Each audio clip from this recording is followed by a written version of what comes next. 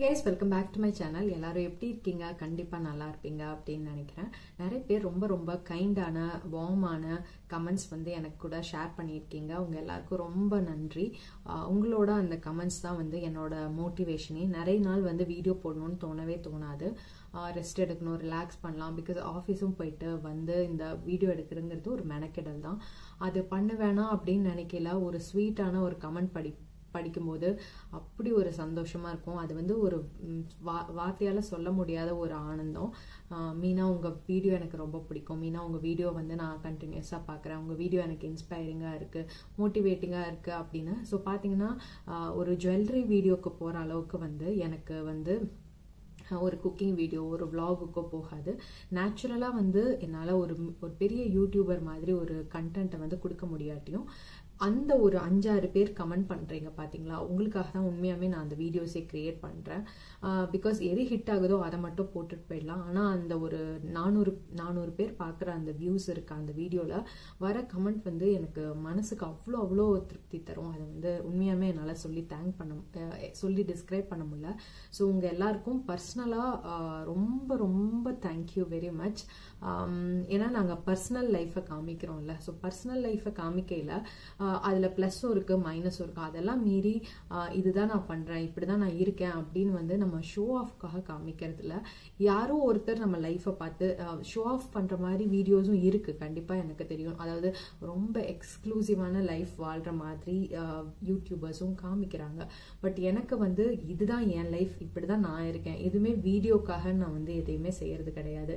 நான் வந்து என் லைஃப்பை பெட்டர் ஆக்கிக்கிறதுக்காக நிறைய ஸ்டெப்ஸ் எடுக்கிறேன். அந்த ஒரு ரெண்டு மூணு ஸ்டெப்ஸை வந்து உங்கள் கூட நான் வந்து ஹானஸ்டாக இருக்கேன் என் வீடியோஸ்ல சில டைம் வந்து மேபி நான் பேசுறது கொஞ்சம் ஓவரா அழட்டிக்கிற மாதிரி இருக்கலாம் ஆர் பந்தா பண்ற மாதிரி இருக்கலாம். அது வந்து எப்படி வந்து எக்ஸிபிட் பண்ணணும்னு தெரியாமல் பண்ணுறதா இருக்குமே ஒழிய அந்த ஆட்டிடியூடில் நான் வந்து வீடியோஸ் பண்ணவே இல்லை.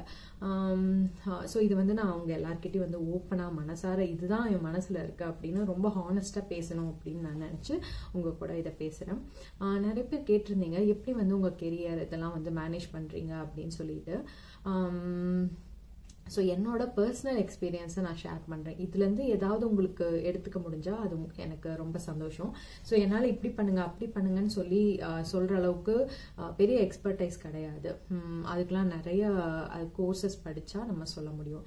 ஸோ என் லைஃப் எக்ஸ்பீரியன்ஸை வந்து பர்சனலான லைஃப் எக்ஸ்பீரியன்ஸை உங்கள் கூட ஹானஸ்ட்டாக நான் ஷேர் பண்ணிக்கிறேன்.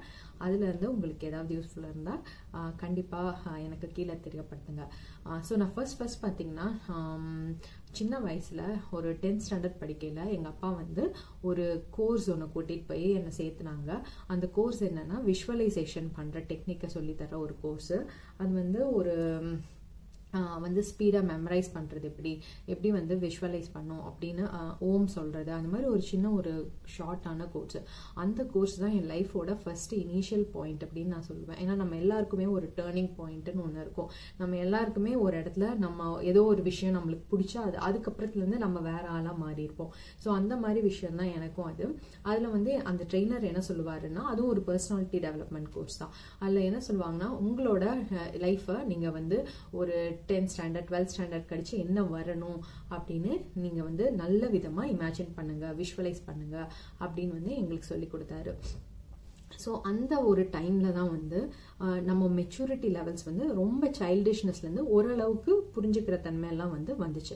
ஸோ அந்த டைமில் நான் வந்து நல்லா படித்து நல்ல வேலைக்கு போகணும் அப்படிங்கிற ஒரு ஸோ எங்கள் அம்மா பார்த்தீங்கன்னா எங்கள் அம்மா வந்து ஒர்க்கிங் விமனில் ஹவுஸ் ஒய்ஃப் ஆனால் ஆனாலும் ஒரு ஒர்க் பண்ணணும். அம்மா அம்மா வந்து வீட்டில் இருக்காங்க. அம்மா மாதிரியான வேலைகளை நம்மளும் செய்யணும். அதே சமயம் அப்பா மாதிரி ஒர்க் பண்ணணும் அப்படிங்கிற ஒரு கம்பைண்டான ஒரு தாட் ப்ராசஸ் வந்து மனசுக்குள்ளே வந்துச்சு. நம்ம படிச்சு நல்லபடியாக வேலைக்கு போகணும். ஏன்னா அந்த காலத்தில் நான் உண்மையாமே நான் டென்த் ஸ்டாண்டர்ட் படிக்கையிலலாம் வந்து ஒர்க்கிங் விமன் வந்து டீச்சர்ஸ் மட்டும் தான் நான் பார்த்துருக்கேன். அதை தவிர நான் இருந்த ஊரில் ஒர்க்கிங் விமன்னு பெருசாக யாரையுமே பார்க்க முடியாது. எல்லாமே பிரெட் வின்னிங் வந்து பார்த்தீங்கன்னா மெஜாரிட்டி மென்னாக தான் இருப்பாங்க. ஸோ அப்படி ஒரு பெரிய இன்ஸ்பிரேஷன் ரோல் மாடல் அப்படின்னு எனக்கு இருந்த ஒரே ஒரு லேடி பார்த்தீங்கன்னா என்னோட டியூஷன் மேடம் அவங்க பேர் காவேரி சந்திரன். எனக்கு வந்து அவங்க ஒரு பெரிய இன்ஸ்பிரேஷன் அவங்க தான் எனக்கு வந்து நிறைய விஷயம் சொல்லி கொடுத்தாங்க. ஸோ இப்படி அதாவது சின்ன வயசில் இந்த மாதிரி எனக்கு சின்ன சின்ன விஷயம்லாம் வச்சு ஓரளவுக்கு வந்து லைஃப்பை வந்து என்னால் இமேஜின் பண்ண முடிஞ்சு. ஓகே நம்ம படித்தோன்னா நம்ம நல்லா வேலைக்கு போகணும். இது அவ்வளோதான் என்னால் அந்த டைமில் வந்து இமேஜின் பண்ண முடிஞ்சு. ஆனால் மிச்சப்படி நம்ம பேரண்ட்ஸ் கிட்டேருந்து கற்றுக்கிற நல்ல விஷயம் இதெல்லாமும் ஒரு கம் ஒரு நல்ல வேல்யூவோட நான் வந்து சில விஷயங்கள்லாம் வந்து கற்றுக்கிட்டேன் ஸோ இப்போ அதெல்லாம் முடிஞ்சு நான் லெவன்த் டுவெல்த் போகிறேன் லெவன்த் டுவெல்த் வந்து என்ன மெடிசன் படிக்க வைக்கணும் அப்படின்னு சொல்லிட்டு ஒரு ஸ்கூலில் வந்து சேர்த்தாங்க. ரொம்ப ரொம்ப ஸ்ட்ரிக்டான ஸ்கூலு ரொம்ப டஃப்பாக இருந்துச்சு அந்த டைம் வந்து. ஸோ லெவன்த் அண்ட் டுவெல்த் வந்து நான் ஹாஸ்டலில் இருந்து அந்த ஸ்கூலில் அட்டன் பண்ணிவிட்டு டுவெல்த் முடித்தேன் டுவெல்த் முடித்தோடனே இன்ஜினியரிங்க்கு அப்ளை பண்ணாங்க. ஸோ ஃபஸ்ட்டு எங்கள் அப்பா ஒன்றே ஒன்று சொல்லி தான் என்னை வந்து இன்ஜினியரிங் சேர்த்து விட்டார். நான் வந்து எங்கள் அப்பா இன்ஜினியரிங் படிக்கலை. நான் வந்து சும்மா போனோமா இன்ஜினியரிங் டிகிரி வாங்கினோமா இல்லாமல் பிஇ ஹானர்ஸ் வாங்கினேன். அதாவது ஹானர்ஸ்ன்னு சொல்லி ஒரு தனியான நல்ல கிரேட் அது. அந்த மாதிரி நான் ஹானர்ஸ் வாங்கினேன். நீ வந்து கண்டிப்பாக போனால் போனோமா வந்தோமான்னு இருக்கக்கூடாது. ஒரு கோல்டு மெடல் வாங்கணும் அப்படின்னு சொல்லி சொன்னார். எனக்கும் இதே தான் சொன்னார். என் சிஸ்டருக்கும் இதே தான் சொன்னார். ஸோ நாங்கள் ரெண்டு பேருமே அந்த ஒரு எங்கள் அப்பாவோட ஒரு விஷை நாங்கள் காப்பாற்றினோம் அது வந்து என்னோட லைஃப்பில் ஒரு ஒரு குட்டி ப்ரௌடான மூமெண்ட். ஸோ நான் இது என்ன சொல்ல வரேன் அப்படின்னா எப்பயுமே இது ஒன்று வந்து நான் ரொம்ப தரவை நம்புகிறேன் work while you work play while you play நான் பார்த்து நார்மலாக பார்த்தீங்கன்னா நான் வந்து எல்லாமே ஜாலியாக என்ஜாய் பண்ணுறது ஃப்ரெண்ட்ஸோட அரட்டை அடிக்கிறது இது எல்லாமே பண்ணுவேன். ஆனால் எக்ஸாம் அப்படின்னு ஒரு விஷயம் வந்துருச்சுன்னா ஒரு டெடிக்கேட்டடாக என்னென்ன எஃபர்ட்ஸ் போடணுமோ எழுதி எழுதி படிப்பேன். எக்ஸாமுக்கு ப்ரிப்பரேஷனுக்கு நம்மளுக்கு ஒரு டைம் கிடைக்கும்ல அந்த டைம் வந்து அந்த ஸ்டடி ஹாலிடேஸ் அப்போ வந்து அதை ஒரு ஃபுல்லாக யூட்டிலைஸ் பண்ணுவேன் புரிஞ்சு படிப்பேன். இது வந்து என்னோட ஒரு நல்ல ஒரு இயல்பாக இருந்துச்சு. ஸோ எதையுமே இது எதனால் வந்துச்சுன்னா என்னோட டியூஷன் டீச்சர் அத் அதுக்காக தான் நான் அதை ஃபஸ்ட்டு சொன்னேன். ஸோ அவங்க வந்து எதையுமே புரிஞ்சு படிக்கணும் அப்படிங்கிற ஒரு இதை வந்து சொல்லி கொடுத்தாங்க. இன்னொன்று புரியாட்டி எனக்கு மனப்பாடமும் ஆகாது. என்னால் அதை எழுதவும் முடியாது. ஸோ நான் இன்டெப்த்தாக அது மனசார அந்த சப்ஜெக்ட் எனக்கு புரிஞ்சால் மட்டும்தான் அதை நான் எழுதவே செய்வேன். அந்தளவுக்கு எனக்கு ஒரு அது வந்து இன்கீப் இன்காம்பிட்டன்சின்னு கூட சொல்லலாம். ஏன்னா எனக்கு மக் பண்ண வராது. மிச்ச குழந்தைங்களாம் மக் பண்ணி எழுதையில எனக்கு ரொம்ப ரொம்ப இன்செக்யூர்டாக இருக்கும். ஏன்டா நம்மளால மனப்பாடம் பண்ண முடியலன்னு. ஸோ அந்த மாதிரி சில அப்டக்கல்ஸ் எல்லாம் தாண்டி புரிஞ்சு எழுதி படித்து ஆல்மோஸ்ட் வந்து காலேஜும் முடிச்சாச்சு. காலேஜும் எங்கள் அப்பா நினச்ச மாதிரி நான் வந்து கோல்டு மெடல் வாங்கினேன். காலேஜில் third year and fourth year ரெண்டுத்துக்குமே எனக்கு வந்து கோல்டு மெடல் கொடுத்தாங்க. அது வந்து ஒரு பெரிய விஷயம்.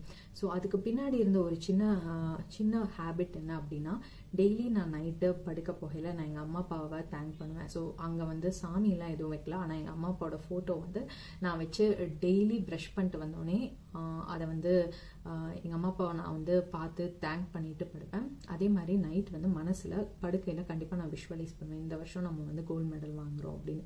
ஸோ இது வந்து என்னோட ஒரு ஸ்ட்ராங்கான ஒரு technique number one number two வந்து பார்த்திங்கன்னா அடுத்து நான் வந்து என்னோட காலேஜ் முடித்தோடனே நான் வந்து எந்த ஒரு இது ஐடி கம்பெனிஸ்லேயும் வந்து எங்கள் அப்பா வந்து போகக்கூடாது. நான் வந்து எல்லாமே எங்கள் அப்பா சொல் பேச்சு கேட்டு தான் நடந்திருக்கேன் அப்படி இருந்தால் தான் அவருக்கும் பிடிக்குமே வேறு. ஸோ அதனால அவர் வந்து அந்த டைமில் சாஃப்ட்வேர் எதுலேயுமே என்னை போகவே அலோவ் பண்ணல. ஸோ நான் வந்து என் ஃப்ரெண்ட்ஸ் எல்லாம் கேம்பஸ் அட்டன் பண்ணையில் நான் வந்து வீட்டில் தான் நான் கேம்பஸ் அட்டன் பண்ணையில் நான் சும்மா ஹாஸ்டலில் தான் இருந்தேன். ஸோ இப்படி போயிட்டு இருந்துச்சு அண்ட் இடையில நான் நான் காலேஜ் எல்லாம் ஃபினிஷ் பண்ணி ஒரு ஒன் மந்த் வந்து என் மனசில் ஒர்க் பண்ணணும் அப்படிங்கிற வெறி வந்து மனசில் இருந்துக்கிட்டே இருந்துச்சு. ஸோ அது வந்து பேரண்ட்ஸ் கிட்ட சொல்ல முடியாது. ஆனால் அது உள்ளக்குள்ளேயே ஒரு தவிக்கிற ஒரு விஷயம். எல்லாருக்கும் பிளேஸ் ஆயிட்டாங்க. நம்ம பிளேஸ் ஆகவே இல்லையே அப்படிங்கிற ஒரு மன கஷ்டம் இருந்துகிட்டே இருந்துச்சு. பட் தேங்க்ஃபுல்லி நான் வந்து நிறைய கம்பெனிஸில் அப்ளை பண்ணி வச்சுருந்தேன். அண்ட் நல்லபடியாக எனக்கு பிளேஸ்மெண்ட்லேருந்து கால் பண்ணாங்க. தாம்ஸ் uh, சென்னையில் போய் தாம்சன் ராய்டர்ஸ்னு ஒரு கம்பெனியில் இன்டர்வியூ இருக்குது அப்படின்னு சொன்னாங்க. ஸோ அங்கே போய் இன்டர்வியூலாம் அட்டன் பண்ணி uh, ஒர்க் கிடச்சிருச்சு. ஸோ ஒரு ஒரு என்ன விஷயம்னா எல்லாருக்கும் வந்து ஒரு next year twenty two thousand செவனில் முடிச்சா அடுத்த டூ தௌசண்ட் எயிட்டில் தான் வந்து நிறைய பேருக்கு ஜாயினிங் கொடுத்துருந்தாங்க. பட் நான் ரொம்ப லக்கிலி தேங்க்ஃபுல்லி மேலே முடித்தேன் ஆகஸ்டில் வந்து ஒர்க் ஜாயின் பண்ணியாச்சு. ஸோ நான் ஆகஸ்ட் டூ தௌசண்ட் செவன்லேருந்து இப்போ வரைக்கும் ஓயாமல் ஓடிக்கிட்டே இருக்கேன். நல்ல விஷயமும் இருக்குது அதில் சில கஷ்டமான விஷயங்களும் இருக்குது so two thousand seven so இது இந்த ஹிஸ்ட்ரி நான் ஒன்று சொன்னேன். எனக்கு வந்து ஒரு ஒர்க்கிங் விமனாக நான் எக்ஸாம்பிளாக ரோல் மாடலாக யாரையுமே என் லைஃப்பில் பார்த்ததில்ல எக்ஸப்ட் என்னோட டீச்சர்ஸ் அவங்க மட்டும்தான் வந்து ஒரு ஒர்க்கிங் விமனாக ஒரு ரோல் மாடலாக நம்ம வந்து பார்த்துருக்கோம். ஸோ அப்போ திடீர்னு சென்னை அப்படி இருந்த ஒரு பொண்ணு திடீர்னு சென்னைக்கு போய் நம்மளுக்கு தெரியாதுல்ல கெரியர் இப்படி இருக்கணும் அப்படி இருக்கணும் நம்ம மேனேஜர் ஆகணும் நம்ம டீம் லீட் ஆகணும் அப்படின்னு இதுதான் அடுத்தடுத்த ஸ்டெப் இப்படிலாம் தான் பண்ணணும் அப்படின்னா உண்மையாக எனக்கு டீச் பண்ணுறதுக்கு யாருமே கிடையாது. அந்த ஒரு சுச்சுவேஷனில் ஸோ எனக்கு வந்து பாமா துஷாந்தி ஜெயந்தி ரத்தி அப்படின்னு ஒரு என்னோட ஃபர்ஸ்ட் லெவல் மேனேஜர்ஸ் இருந்தாங்க.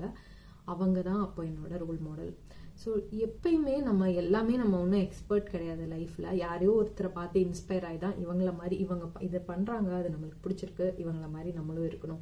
அப்படின்னு நம்ம அப்படியே என் லைஃப் போகிற வழியில் சிலரை பார்த்து இன்ஸ்பயர் ஆகி அவங்களோட நல்ல விஷயத்த வந்து நான் வந்து மெனக்கெட்டு கற்றுக்கிட்டேன் ஸோ இதுதான் உண்மையாக வந்து உங்களுக்கு என்னோட ஒரு டிப்பாக இருக்கும் இல்லை ஒரு ஒரு தாட்டாக இருக்கும்.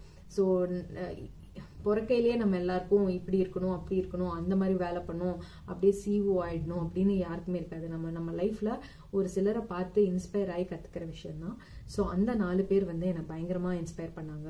பாமா துஷாந்தி வந்து ஓ மை காட் பயங்கர போல்டான விமன் அவங்கள பார்த்து தான் வந்து எனக்கு தோணுச்சு. ஓகே தைரியமாக சென்னையில் ஹோண்டா ஆக்டிவாக எடுத்துகிட்டு ஓட்டுவாங்க. எல்லாத்துக்குமே போல்டாக இருப்பாங்க. அவங்க ரெண்டு பேரை பார்த்தாலே ஒரு பயங்கரமான ஒரு சாம்பியன்ஸ் மாதிரி ஒரு ஃபீலிங் கிடைக்கும். அண்ட் அது எனக்கு ஒரு பெரிய ப்ளஸ் பாயிண்ட்டாக இருந்துச்சு. அந்த மாதிரி ஒரு ஒர்க்கிங் விமன் கூட நம்ம வந்து ஒரு டீம் அவங்க தான் என் மேனேஜர் ஃபர்ஸ்ட் மேனேஜர் அண்ட் அவங்க டீமில் நான் ஒர்க் பண்ண ஸோ நிறைய கற்றுக்கிட்டேன் அண்ட் uh, ரத்தின்னு ஒருத்தவங்க இருந்தாங்க. அவங்க வந்து பார்த்திங்கன்னா சோஷியலி ரெஸ்பான்சிபிளான ஒரு மேனேஜர் அவங்களும் மேனேஜர் தான். ஆனால் சோஷியல் ரெஸ்பான்சிபிலிட்டியில் பயங்கரமாக பண்ணுவாங்க. Uh, ஸோ அதை பார்த்தும் கற்றுக்கிட்டேன் ஓகே நம்ம ஒர்க் பண்ணால் மட்டும் பத்தாது. நம்ம சோஷியலாக நிறைய கான்ட்ரிபியூட் பண்ணணும். சொசைட்டிக்கு நம்ம ஏதாவது திருப்பி செய்யணும் அப்படிங்கிற ஒரு விஷயத்த அவங்க கிட்டேருந்து கற்றுக்கிட்டேன் ஜெயந்தி அப்படின்னு ஒருத்தவங்க இருந்தாங்க. அவங்க பார்த்தீங்கன்னா செமையா செமையா போல்டாக வந்து ப்ரெசன்டேஷன்லாம் பண்ணுவாங்க. Um, அண்ட் ஸோ அவங்கள பார்த்தும் சிலது வந்து ஓகே நம்மளும் ஜெயந்தி மாதிரி இந்த விஷயத்தில் இப்படி இருக்கணும் அப்படின்னு சொல்லிட்டு. ஸோ விஜி நர்மதா அப்படின்னு அவங்க ரெண்டு பேரும் இருந்தாங்க. அவங்களும் அப்படி எப்படின்னா வெறித்தனமாக வேலை பார்ப்பாங்க. வேலைன்னு வந்துட்டு அவங்கள வந்து மிஞ்சவே முடியாது. ஸோ இந்த மாதிரிலாம் ஒரு குரூப் ஆஃப் விமன் வந்து நான் கூட ஒர்க் பண்ணேன். அண்ட் அதை விட ரொம்ப பிளஸ்டான ஒரு விஷயம் என்னன்னா எனக்கு ரெண்டு ஃப்ரெண்ட்ஸ் இருந்தாங்க. நிஷா பத்மஸ்ரீன்னு ஸோ என்னதான் நம்மளுக்கு இன்ஸ்பைரிங்காக கண்ணுக்கு முன்னாடி இருந்தாலும் நம்மளுக்கு பிரச்சனைனா நம்ம ஒரு ஒரு ஃப்ரெண்ட் ஒருத்தவங்க நம்மளுக்கு இருக்கணும். அவங்க தான் வந்து என்னோட சப்போர்ட்டு எது வேணாலும் நான் சொல்லலாம். ஸோ டூ தௌசண்ட் செவனில் எனக்கு ஒர்க் கிடச்சி டூ தௌசண்ட் எயிட்டில் வந்து நான் எனக்கு மேரேஜ் ஆயிடுச்சு டிசம்பர் டூ தௌசண்ட் எயிட் டிசம்பரில். ஸோ ஆப்வியஸாக என்னால் அந்த டி- அந்த குரூப்லேயே நான் ஒர்க் பண்ண குரூப்லேயே எனக்கு தான் ரொம்ப சின்ன வயசு. அண்ட் எனக்கு தான் வந்து ஃபஸ்ட் ஃபஸ்ட்டு மேரேஜும் ஆயிடுச்சு. ஸோ அந்த டைமில் என்னால் ஹானஸ்டாக ஒரு ஒரு ரிலேஷன்ஷிப்பை வந்து ஹேண்டிலே பண்ண முடியல. இன்லாஸ் அது இது அப்படின்னு சொல்லிட்டு ஒரு ஒரு டைம் எடுக்கும். அரேஞ்ச் மேரேஜில் வந்து லைஃப் வந்து ரொம்ப எடுத்தோடனே ஸ்மூத்தாக இந்த படத்தில் காமிக்கிற மாதிரிலாம் இருக்கவே இருக்காது. நிறைய அப்ஸ் அண்ட் டவுன்ஸ் கடந்து தான் வந்து வந்திருக்கோம். ஸோ அந்த டைமில் நம்ம என் என்னால் ஆற்றுல ஒரு கால் சேத்துல ஒரு கால் அப்படின்னு வைக்க முடியல. ஸோ ஏதோ ஒன்று தான் வந்து ஃபோக்கஸ் பண்ண முடிஞ்சு. அந்த டைம்லலாம் ஒர்க் வந்து என்னால் ரொம்ப பெரிய வெறித்தனமாலாம் ஒர்க் பண்ணவே இல்லை. வேலைன்னு ஒன்று இருந்துச்சு அந்த வேலையை வந்து வச்சுக்கிட்டு ஓகே டெய்லி போயிட்டு வருவோம்.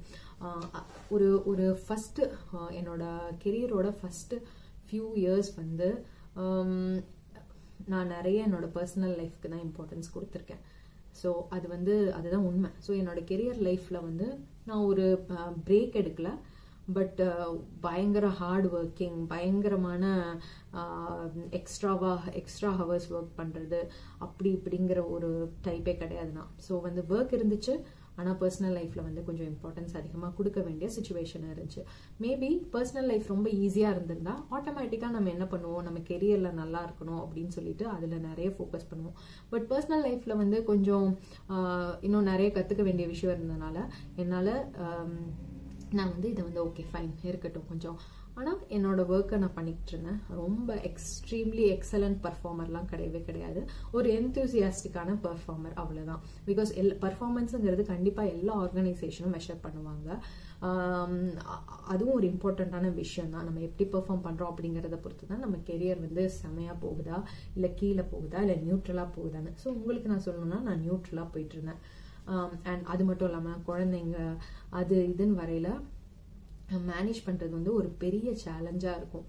Um, தூக்கம் இருக்கு தூங்க முடியாது. நிம் ஃபுல் டைம் தூங்கியிருக்க மாட்டோம். ஃபீட் பண்ணிவிட்டு அடுத்த நாள் போய் ஆஃபீஸில் three months baby third three months கூட இல்லை எயிட்டீன் நைன் டேஸ்லேயே வந்து நான் என் பையன் பொண்ணெல்லாம் வந்து எனக்கு விட்டுட்டு நான் அடுத்த ஆஃபீஸ் போகணும். அதெல்லாம் வந்து ஒரு பெரிய ஹேர்டில் எப்படி அதை டேக்கிள் பண்ணேன் அதெல்லாம் வந்து ஒரு நிஜமாகவே ஒரு மனசுக்கே நம்மளுக்கு ஒரு தைரியம் வந்து தான் பண்ணேன் ஸோ அப்படி இருந்து ஒரு சிக்ஸ் செவன் எயிட் இயர்ஸ் அப்படியே போச்சு. அப்படியே ஒரு மீடியமாக இப்படியே போயிட்டே இருந்துச்சு. ஸோ அதுக்கப்புறம் ஓகே குழந்தைங்க கொஞ்சம் ரொம்ப ஒரு ரெண்டு வயசு என் பொண்ணுக்கு ரெண்டு வயசு ஆகல. ஃபஸ்ட்டு ஃபஸ்ட்டு என்னோட வெறி என்னென்னா வெயிட்டை குறைக்கணும்னு. ஸோ வெயிட்டை குறைச்சேன். பிகாஸ் ஃபஸ்ட் நம்ம நம்மளுக்கு வந்து ஒரு கான்ஃபிடென்ஸ் இருந்தால் மட்டும்தான் நம்ம எதையுமே நல்லா பண்ண முடியும். ஸோ வந்து என்னோட நைன்டி சிக்ஸ்லேருந்து என் வெயிட்டை மேக்ஸிமம் குறைச்சி ஒரு செவன்ட்டீஸில் கொண்டுட்டு வந்து நின்னேன். அப்போ தான் என்னால் ஒரு விஷயம் நம்ம ஆரம்பித்தா முடியும். அப்படிங்கிற ஒரு டிட்டர்மினேஷன் வந்துச்சு ஒரு உள்ளக்குள்ள ஒரு ஃபயர் வந்துச்சு. ஸோ காலேஜில் இருந்த ஃபயர் அதுக்கப்புறம் அப்படியே கொஞ்சம் கப்புன்னு அடங்கி அதுக்கப்புறம் ஒரு டென் இயர்ஸ் ஒரு டென் இயர்ஸ் சொல்ல முடியாது ஒரு எயிட் இயர்ஸ் கழிச்சு தான் திருப்பி ரீகிண்டல் ஆச்சு. பட் அந்த எயிட் இயர்ஸ் ஜேர்னி வந்து ரொம்ப அமேசிங்கான ஜேர்னி நான் சொல்கிறேனே நியூட்ரல்னு சொல்கிறேனே தவிர அதில் என்ஜாய் பண்ணாமல் இல்லை ரொம்ப விஷயம் நான் என்ஜாய் பண்ணேன். நிறைய விஷயம் நான் கற்றுக்கிட்டேன் ஒரு ஒரு நாளும் ஒன்று ஒன்று புதுசு புதுசாக கற்றுக்கிட்டேன் ஸோ ஃபஸ்ட்டு திங் என்ன சொல்ல வரேன்னா நம்ம எந்த இடத்துல இருக்கோங்கிறது முக்கியம் இல்லை அங்கேருந்து என்ன கற்றுக்குறோங்கிறது தான் முக்கியம். நீங்கள் ஒரு மட்டமான இடத்துல கூட இருக்கலாம் ஆனால் அந்த இடத்துலேருந்து நீங்கள் என்ன கற்றுக்குறீங்க என்ன நீங்கள் லேர்ன் பண்ணிக்கிட்டீங்க உங்கள் லைஃபுக்கு அதை வச்சு நீங்கள் என்ன என்ன இம்ப்ரூவ் ஆயிருக்கீங்க அப்படிங்கிறது தான் ரொம்ப ரொம்ப ரொம்ப முக்கியம். ஸோ நீங்கள் வந்து சிஓவாக இருக்கணும் அப்படின்னு அவசியம் இல்லை. ஈவன் ஒரு ஸ்வீப்பராக இருந்தால் கூட அந்த ஸ்வீப்பராக இருந்த வேலையில் என்ன கற்றுக்கிட்டீங்க என்ன புதுசாக பண்ணலாம் என்ன வேற லெவலில் பண்ணலாம் அப்படின்னு நம்ம நம்மளையே அழகு மெருகுபடுத்திக்கிட்டு போனால் மட்டும்தான் கெரியர் லைஃபாக இருக்கட்டும் பர்சனல் லைஃபாக இருக்கட்டும் நம்மளால சக்சீட் பண்ண முடியும். சக்ஸஸ் அப்படின்னு ஒவ்வொருத்தருக்கும் ஒரு ஒரு மாதிரி. இன்னைக்கு வரைக்கும் உயிரோட இருக்கிறதே ஒரு சக்ஸஸ் தான். இன்னைக்கு வரைக்கும் நோய் இல்லாமல் எந்த ஒரு டேஞ்சர்ஸ் எல்லாமே தாண்டி வரதே ஒரு பெரிய சக்ஸஸ் தான். ஸோ எனக்கு இது சக்ஸஸ் உங்களுக்கு சக்ஸஸ்ங்கிறது வேற மாதிரி நீங்கள் வச்சுக்கலாம். ஒரு பெரிய மாளிகை மாதிரி வீடு அதில் ஒரு பத்து மெய்டு வச்சுட்டு இருக்கிறது சக்ஸஸ்ங்கிறது ஒரு சிலருக்குலாம். ஒரு சிலருக்கு ஒரு சின்ன வீடாக இருந்தாலும் போதும். எல்லாமே அளவாக நல்லா ஹாப்பியாக இருந்தால் அது சக்ஸஸ் ஸோ ஒரு ஒருத்தருக்கு சக்ஸஸ் ஒரு ஒரு மாதிரி இருக்கும். ஆனால் அந்த சக்ஸஸ் வந்து ஈஸியாக வராது. என்றைக்குமே அதுக்கு பின்னாடி நிறைய தோல்விகள் இருக்கணும். தோல்வி இருந்தால் மட்டும்தான் நம்மளால சக்ஸஸை என்ஜாயே பண்ண முடியும். ஸோ அந்த ஒரு எயிட் இயர்ஸ் என்னோட கெரியர் லைஃப் நியூட்ரலாக இருந்ததுனால அதாவது நம்ம ஸ்ட்ரக் ஆயிட்டோம் அப்படிங்கிற ஒரு ஃபீலிங் வந்ததுக்கு அப்புறம் தான் அடுத்த ஒரு ஸ்டெப் வந்து ஒரு அடுத்த ஆனந்தத்தை தந்துச்சு. ஸோ நம்ம வந்து ஓகே கண்டிப்பாக ஏதாவது ஒரு கோர்ஸ் எடுத்து வேற எதுக்கு மூவ் பண்ணும்? டென் இயர்ஸ் ஆயிடுச்சு ஸ்டாக்னன்ட் ஆயிடுச்சு. கெரியர் லைஃப் வந்து கொஞ்சம் ஸ்டா ஒரு மாதிரி உங்களுக்கு அதுக்கு மேலே உங்களால் எதுவுமே கான்ட்ரிபியூட் பண்ண முடியாது. நீங்கள் எவ்வளோ பெரிய ஆர்கனைசேஷனில் இருந்தாலும் ஒரு ஒரு ஒரு சர்டன் அமௌண்ட் ஆஃப் டைம் வந்ததுக்கப்புறம் நம்மளால அதுக்கு கான்ட்ரிபியூட் பண்ண முடியாது. நம்ம ஸ்டாக் ஒரு மாதிரி சேச்சுரேட் ஆகிடுவோம் ஸோ அதுக்கப்புறம் நான் வந்து வேற ஒரு கம்பெனிக்கு ஜாயின் பண்ணேன். அது வந்து ஒரு சின்ன கம்பெனி தான். லைக் நான் ப்ரீவியஸாக ஒர்க் பண்ண தாம்சன் ராய்டர்ஸ் அளவுக்கு பெரிய கம்பெனியில் அது ஒரு சின்ன கம்பெனி பட் ஆனால் கூட அங்கேயும் போய் நிறைய கற்றுக்கிட்டேன் ஹானஸ்ட்டாக இதுலேருந்து அது வந்து கம்ப்ளீட்டான வேற மாதிரி ஸ்விட்ச் எகெயின் ஒன்னே ஒன்று தான் அந்த என்ற- எனக்கு இன்டர்வியூவில் கேட்டாங்க ஏன் அந்த ஃபீல்ட்லேருந்து இந்த ஃபீல்டுக்கு வரீங்க? நான் ஒன்னே ஒன்று தான் சொன்னேன். எனக்கு வந்து இப்படி வளர்ச்சி இருக்கணும்னு அவசியமே கிடையாது. அதாவது ஜாயின் பண்ண team leader manager general manager director head அந்த மாதிரி இருக்கிறது நல்லது தான் ஆனால் எனக்கு Um, வித்தியாச வித்தியாசமான ஃபீல்டில் ஒர்க் பண்ணுறது புதுசு புதுசாக விஷயம் கற்றுக்கிறது எனக்கு ஒரு uh, எனக்கு வந்து அது சக்ஸஸ்ன்னு தோணுச்சு. வை நாட் ஏன் என்னால் போன வருஷம் நான் வேறு ஏதோ ஃபீல்டில் இருந்தேன் இந்த வருஷம் வேறு ஃபீல்டில் இருக்கேன் அப்படின்னு யோசிக்கவே இல்லை. என்னை பொறுத்தளவுக்கு எது வந்து புதுசாக கற்றுக்கிறோமோ அது வந்து I am happy to do that அப்படிங்கிறது தான் என்னோட ஒரு பாலிசியாக இருந்துச்சு. ஸோ நான் வேற ஒரு டோட்டலான கம்ப்ளீட்டான வேற ஒரு ஜாப் ஷிஃப்ட் பண்ணேன் அதுக்கு நிறைய ஸ்டெப்ஸும் எடுத்தேன். நிறைய கோர்சஸும் படித்தேன் கோர்சஸ் எல்லாம் படித்து அந்த அந்த ஜாப் வந்துச்சு. ஸோ அங்கேருந்து நிறைய ப்ராஜெக்ட்ஸ்க்காக ட்ராவல் பண்ண வேண்டிய விஷயம் வந்துச்சு. டெல்லியில் கொஞ்ச நாள் அதுக்கப்புறம் ஹொசூரில் டெல்லியில் வந்து நேஷனல் தெர்மல் பவர் கார்பரேஷனில் இருந்த ஒரு நொய்டாவில் ஒரு ஒன் மந்த் போல் அங்கேருந்து ஒரு ப்ராஜெக்ட் பண்ண வேண்டியது வந்துச்சு. ஹொசூரில் ஒரு ஒன் இயர்க்கு மேலே டிவிஎஸ் டிவிஎஸ் ஹொசூரில் இருக்க டிவிஎஸ்க்காக ஒரு ப்ராஜெக்ட் பண்ண வந்துச்சு. அதுக்கப்புறம் கத்தாரில் வந்து ப்ராஜெக்ட் பண்ண வேண்டிய சுச்சுவேஷன் வந்துச்சு. ஸோ அந்த மாதிரி நிறைய அந்த ஃபேஸ் வந்து ஸோ நான் வந்து நியூட்ரலாக இருந்த பீரியடில் கற்றுக்கிட்டதை விட எக்ஸ்போனன்ஷியலாக நிறைய விஷயம் வந்து அதுக்கப்புறம் கற்றுக்கிட்டேன் ஸோ அப்போ வந்து அத்தனை நாள் வந்து பர்சனல் லைஃப்காக கொஞ்சம் நிறைய டைம் ஸ்பெண்ட் பண்ணியிருந்தேன். அதுக்கப்புறம் இது வந்து ஓகே இதுக்கப்புறம் ஒரு ஒரு ஸ்டெபிலைஸ் ஆனதுக்கப்புறம் அங்கே நியூட்ரல் ஆனதுக்கப்புறம் வந்து நான் என் கெரியர் லைஃப்க்கு நிறைய இம்பார்ட்டன்ஸ் கொடுத்தேன். ஸோ இப்போ நிறைய பேர் நினைக்கலாம் என்னடா இது ரெண்டு சின்ன குழந்தைங்களை விட்டுட்டு இவங்க பாட்டுக்கு கெரியர் அப்படின்னு வந்துட்டாங்க. காசு தான் முக்கியம். சத்தியமாக அந்த மாதிரி கிடையாது நான். காசுக்காக நான் வந்து இந்த இடத்துக்காக வரவே இல்லை. இந்த இடத்துல வந்தது வந்து எங்கள் ஃபேமிலிக்கு ஒரு ஒரு ஒரு லைஃப் ஸ்டைல் சேஞ்ச் வரணும்.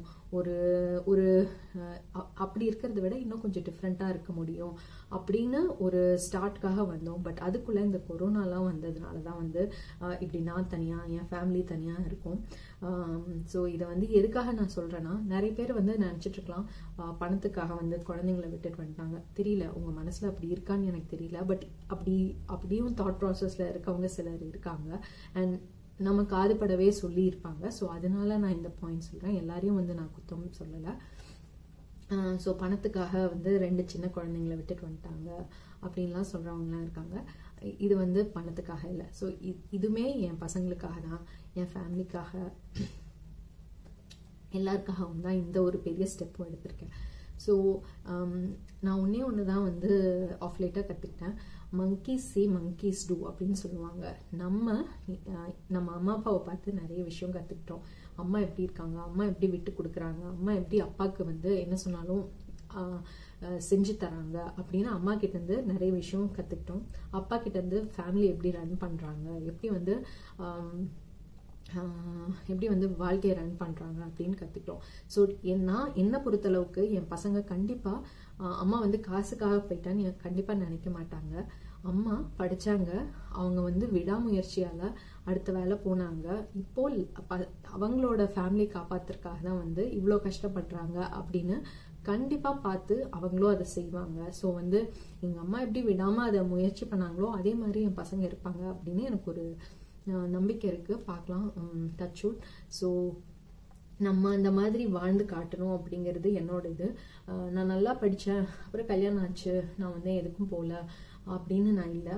நான் வந்து ஃபேமிலியும் பார்த்துக்கிட்டு இந்த இதையும் வந்து தான் மேனேஜ் பண்ணேன். ஸோ ஆல்மோஸ்ட் ஒரு லெவன் இயர்ஸ் கூட இருந்தேன். ஸோ இந்த ஒரு டூ இயர்ஸ் தான் வந்து இந்த மாதிரி ஆஃப் அண்ட் ஆஃப் குழந்தைங்களை விட்டு விட்டு பிரிஞ்சிருக்க மாதிரியான ஒரு சுச்சுவேஷனில் இருக்குது பட் எதுவுமே வந்து பெர்மனன்ட் கிடையாது. இதுவும் கடந்து போகும். அந்த ஒரு அந்த ஒரு ஃப்ரேஸ் தான் வந்து ஒரு புஷ்ஷிங் பாயிண்ட்டே நம்ம எப்போல்லாம் வந்து டவுன் ஆகிறோமோ இது வந்து கான்ஸ்டன்ட் கிடையாது. நாளைக்கே வந்து வேற மாதிரி இருப்போம் ஸோ அந்த ஒரு ஃப்ரேஸ் வந்து எல்லா டைமும் நான் சொல்லிக்கிட்டே இருப்பேன். இன்னைக்கு டவுனாக இருக்கும் அப்படின்னா இட்ஸ் ஓகே இதுவும் கடந்து போயிடும் நாளைக்கு ஹாப்பியாக இருக்கும். அந்த ஹாப்பினஸும் டக்குன்னு குயிக்காக கடந்து போயிடும் ஸோ um, நீங்கள் வந்து ஒர்க் பண்ணுறீங்க அப்படின்னா um, எந்த ஒரு டைம் உங்கள் ஃபேமிலியில் க்ரைசஸோ ஃபேமிலியில் ஃபோக்கஸ் பண்ணுங்கள் எந்த ஒரு டைம் உங்களோட கெரியரில் க்ரைசஸோ இல்லை கெரியரில் இம்ப்ரூவ் பண்ணிக்க விரும்புகிறீங்களோ அந்த டைம் கெரியருக்கு ஃபோக்கஸ் பண்ணுங்கள் எல் என்றைக்குமே எவ்வளோ பெரிய ஆளாக இருந்தாலும் நம்ம பேஸ் வந்து நம்ம ஃபேமிலி தான். அந்த ஃபேமிலி இல்லாட்டி நம்மளுக்குள்ள ஒரு வேக்னஸ் ஒரு எம்டினஸ் ஒரு என்னடா வாழ்க்கை அப்படின்னு எவ்வளோ பெரிய ஆளாக இருந்தாலும் தோண தான் செய்யும் நீங்கள் எல்லாருக்குமே லைஃப்பில் சாட்டிஸ்ஃபை பண்ணுற அளவுக்கு நீங்கள் ஒரு சோஷியலி ரெஸ்பான்சிபிள் பர்சனாக இருக்கலாம். எவ்வளோ பெரிய ஆனாலும் இருந்தால் கூட விமன் அப்படின்னு வந்துட்டா அவங்களோட ஃபேமிலி ஃபஸ்ட்டு அந்த ஃபேமிலி சர்க்கிள் அம்மா அப்பாவை பார்த்துக்கிறது சிஸ்டர்ஸ் பிரதர்ஸை பார்த்துக்கிறது ஹஸ்பண்ட் பசங்களை பார்த்துக்கிறது ஹஸ்பண்டோட பேரண்ட்ஸை பார்த்துக்கிறது வந்து நம்ம லைஃபோட ஒரு பேஸ் பீஸாவோட பேஸ் பீஸா பீஸா பேஸ் இருந்தால் தான் பீஸா பேஸ்க்கு மேலே டாப்பிங்ஸ் எல்லாம் போட்டு அதை என்ஜாய் பண்ண முடியும். நம்ம எல்லாருக்குமே தெரியும் டாப்பிங்ஸ் தான் பிடிக்கும். டாப்பிங்ஸ் தான் எல்லாருக்கும் பிடிக்கும். ஏன்னா சீஸ் இருக்கணும் அந்த டொமேட்டோ கெச்சப் மீன்ஸ் அந்த கெச்சப் மாதிரி இருக்க அந்த பீஸா சாஸ் இருக்கணும். அதுக்கப்புறம் நிறைய வெங்காயம் இருக்கணும் கேப்சிகம் இருக்கணும் ஆலிவ்ஸ் இருக்கணும். ஆனால் இது எல்லாருமே இருக்கணும்னா கீழே பேஸ் இருக்கணும். ஸோ அந்த பேஸை ஸ்ட்ராங்காக பேக் பண்ணுங்கள் அப்புறம் உங்கள் டாப்பிங்ஸை உங்களுக்கு நீங்கள் நிறைய கற்றுக்கிட்டு உங்கள் லைஃப்பில் நிறைய விஷயத்த கற்றுக்கிட்டு உங்கள் மனசை தளர விட்டாதுங்க. என்றைக்குமே வந்து என்னடா இது? அப்படின்னு இருக்கும் இருக்கும். எல்லா நாளும் ஏ நான் சாதிக்க போகிறேன் சாதிக்க போகிறேன்னு சத்தியமாக இருக்காது. இன்ஃபேக்ட் ஒரு சின்ன விஷயம் என்னென்னா இவ்வளோ சொல்கிறேன் எனக்கு பின்னாடி நிறைய கஷ்டம் இருக்குது நான் எப்பயுமே ஸ்மைல் பண்ணிட்டு மேக்கப் பண்ணிட்டு அப்படியே ஹாப்பியாக ஹே கைஸ் அப்படி இப்படின்னு பேசுகிற மாதிரி இருக்கும். ஆனால் என் லைஃப்லேயும் நிறைய கஷ்டங்கள் வந்து நான் தாண்டி தான் வந்திருக்கேன். எல்லாமே ஜஸ்ட் ஈஸியாக டக்கு டக்கு டக்குன்னு ஜம்பே ஆகலை. நிறைய டிஃபிகல்ட்டிஸ் எல்லாம் க்ராஸ் பண்ணி தான் வந்திருக்கேன். சில டைம் வந்து ரிலேஷன்ஷிப் இஷ்யூஸ் இருக்கும். என் இன்லாஸ் கூட இஷ்யூஸ் இருக்கும். ஹஸ்பண்ட் கூட இஷ்யூஸ் இருக்கும். பசங்க கூட கோ- கோவம் வரும். பசங்களை அடிப்போம். நம்ம அவங்க ஏதாவது தப்பு பண்ணிட்டாங்களா? அப்படின்னு. சில டைம் ஈவன் ஆஃபீஸில் கூட இஷ்யூஸ் இருக்கும்.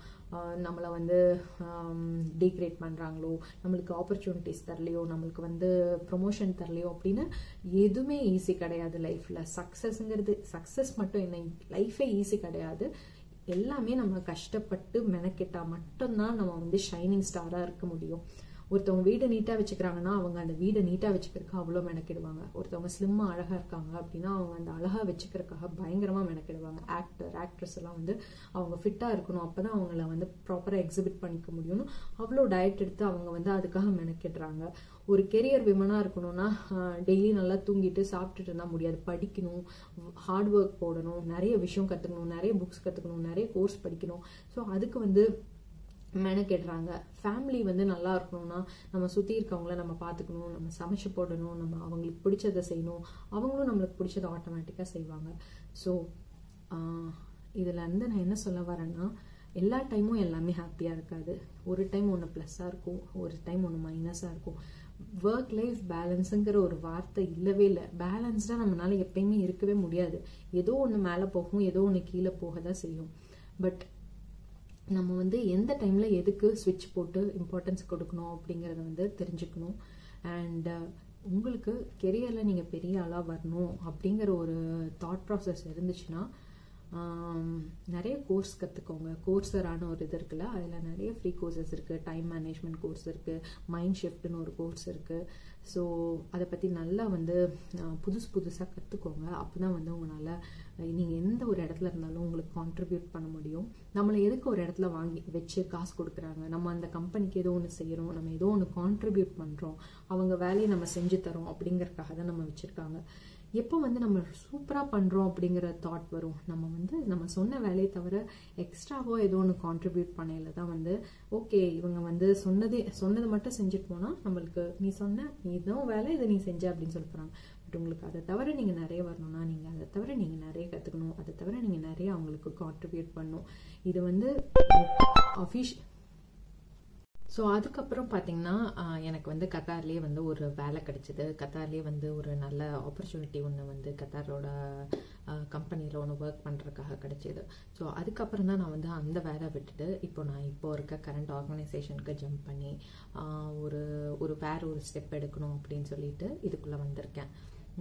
ஸோ இது வந்து ஒரு பெரிய பெரிய சேஞ்ச் என்னோட ஹோல் கெரியர் லைஃப்கே இது எல்லாத்துக்குமே காரணம் கன்சிஸ்டண்ட்டாக புதுசாக கற்றுக்கணும் எப்படி லேட்ரலாக அதாவது வேர்ட்டிக்கலாக தான் க்ரோத் இருக்கணும். இல்லாமல் லேட்ரலாகவும் க்ரோத் இருந்தாலும் அதுவும் க்ரோத்து தான் அப்படிங்கிற ஒரு மைண்ட் செட்டில் ரொம்ப ரொம்ப ஃப்ளெக்சிபிளாக நான் இருந்தேன்.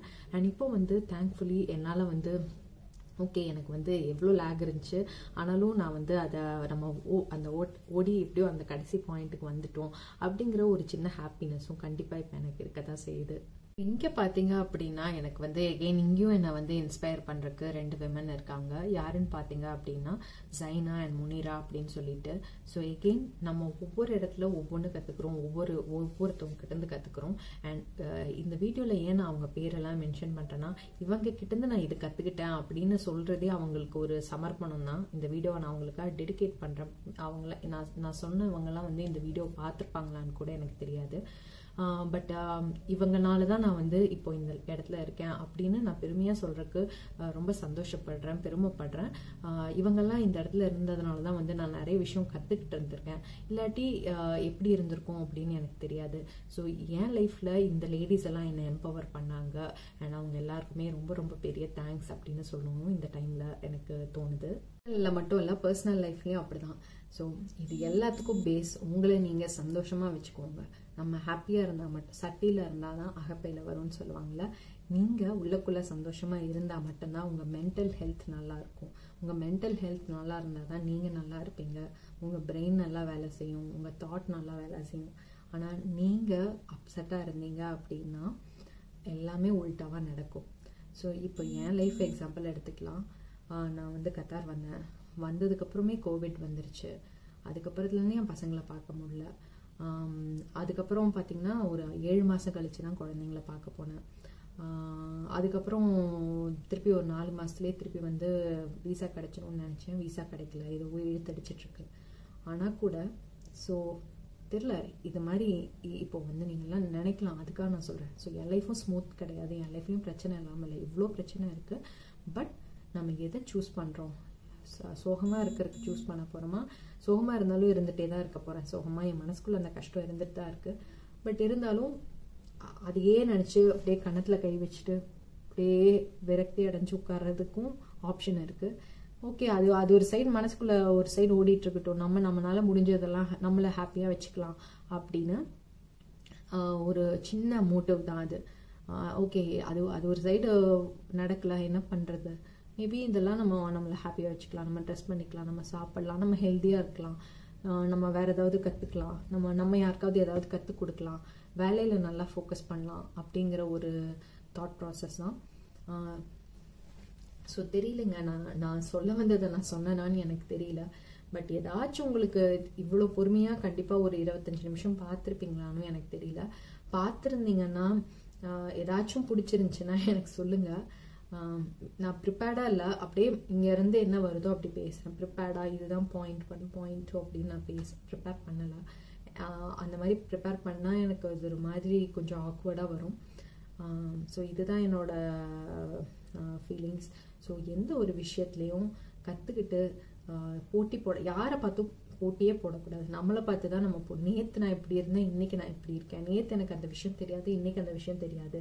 யூடியூப் ஆரம்பிக்கையில் என்ன மாதிரி முக் மொக்கையாக வீடியோ போட்டவங்க யாருமே இருக்காது. என்னோடய ஃபஸ்ட்டு ஃபியூ வீடியோஸ் வந்து எனக்கு எடிட் பண்ண தெரியாது. எதுவுமே தெரியாது. பட் நான் தப்பு பண்ணி தான் கற்றுக்கிட்டேன் ஸோ எதுவுமே வந்து எடுத்தோடனே யாராலையும் எக்ஸ்பர்ட்டாக இருக்கவே முடியாது. நம்ம தப்பு பண்ணி தான் கற்றுப்போம் நிறைய பேர் டீஸ் பண்ணுவாங்க ஸோ வாட் என்ன அதனால என்ன? எத்தனையோ பேர் என்ன லூஸ் தனமாக பண்ணிட்டு இருக்கா பாரு அப்படின்னு. ஸோ வாட் என்ன? அதனால என்ன? எல்லாருமே தப்பு பண்ணி தான் கற்றுக்க போகிறோம் ஸோ அதனால தப்பு பண்ணுறது பிரச்சனை இல்லை. அதுலேருந்து நம்ம என்ன கற்றுக்கிட்டோம் அப்படிங்கிறது தான். இது எதில் வேணாலும் அப்ளிகபிளாக இருக்கும். ஸோ நம்ம மிஸ்டேக் பண்ணுறது பிரச்சனையே கிடையாது. அதுலேருந்து நம்ம என்ன கற்றுக்கிட்டோம் அப்படிங்கிறது தான் வந்து at the end of the day ரொம்ப ரொம்ப முக்கியமான விஷயம். ஸோ தப்பு பண்ணுங்க கற்றுக்கோங்க அதில் தப்பே கிடையாது. இந்த வீடியோ உங்களுக்கு யூஸ்ஃபுல்லாக இருந்திருக்கும் அப்படின்னு நினைக்கிறேன். ரொம்ப நேரம் பேசினதுக்கு I am sorry take care என்னோட சேனலுக்கு சப்ஸ்கிரைப் பண்ணலன்னா ப்ளீஸ் சப்ஸ்கிரைப் பண்ணி சப்போர்ட் பண்ணுங்கள் until post my next video take care and bye